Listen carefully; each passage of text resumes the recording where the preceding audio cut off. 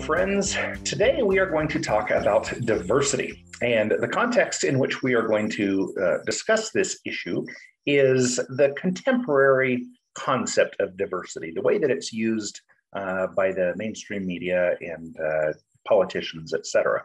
And the, the general idea is that uh, the workforce, the community is better if it is diverse if there are people of many different religions and colors and genders and races and religions, if there's a lot of diversity between individuals, the workplace or the community will be better. That's the narrative. And I am here to say that it's okay if a community or a workplace is diverse, but it's not something that should be the goal. It's not something we should work toward. Uh, maybe it's a tiny percentage, uh, if all the other important factors have been met, then if you have a choice one way or the other, maybe then add some diversity. But it certainly isn't a goal that we should all have. And why is this? Well, it's basic economics, it's basic human interactions. The reason that we all choose to be around each other and do things in this world. And so I'll take an example of somebody who's moving and they're going to have some friends help them move next Saturday. And they either have the option of saying, Hey, all my friends, who would like to come and help me move? Or they could just ask their biggest and strongest friends to help them move the heavy furniture and such. Or they could strive for diversity.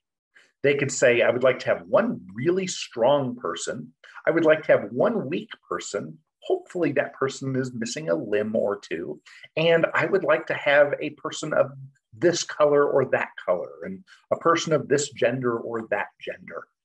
Well, between these options of selecting your volunteer crew for moving next Saturday, isn't it kind of silly not to put the truly important factors first? Like I would say for moving stuff, you would want somebody that's really strong someone that pays attention to detail, that's careful, that's coordinated, so they're not going to bump everything against the door jambs. But you really don't care if that person is a man or a woman, if they are Jewish or Muslim, if they are black or white or a Zer or whatever. You don't really care.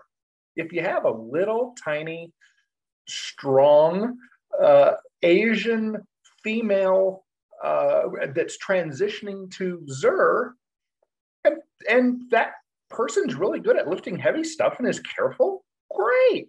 But it doesn't matter.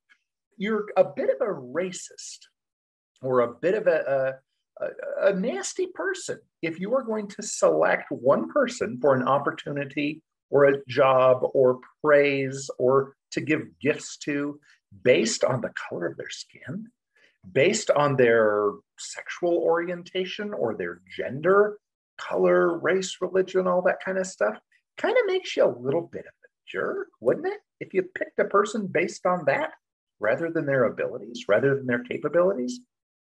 Now, the argument goes that if we were all uh, only selected the people that we were around, that we chose to be around uh, in the workplace, at, at home, etc., if we chose those people only based on merit, then it's possible that there could be places, and to use the generalization, maybe all the doctors would be Indians of a certain uh, caste. Uh, and this is from India, not the uh, United States government's, uh, the natives that they displaced. But maybe that would happen. Maybe all of the math people would be, would they say, the Chinese or Japanese or somebody are, are better. Okay, maybe they would all end up filling those roles.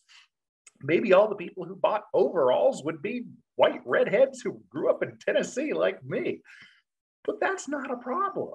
It's okay that there would be, oh, okay, look at that. We have a bunch of big, fat, white redheads that are buying overalls. That doesn't mean that the overall company is is racist or is refusing to have a diverse customer base. No, it's just the people that tend to like that tend to be big fat white guys with red hair. Maybe that's how it works out. This is not a problem. And so when people try to convince you that they want diversity in a certain circumstance, really think about it. Is it worth it? Now, if, if going back to this moving example, if I have a bunch of friends because I have a really great personality and we're just imagining this, and I have a bunch of friends, and I ask all of my strong, careful, all the criteria that really matters. And now I have 10 people that are volunteering to help, and I only need four. Then I guess it wouldn't be that horrible to say, eh, because of this color of your skin, Bill, I don't want you to come and help me. I'm going to preclude you from being my helper friend this day because of the color of your skin. And you, Pat, eh, because of your gender, I don't want you to be involved. And you, Tom, because of your religion, I don't want you to be involved. Maybe that would be okay, but does that seem okay to you?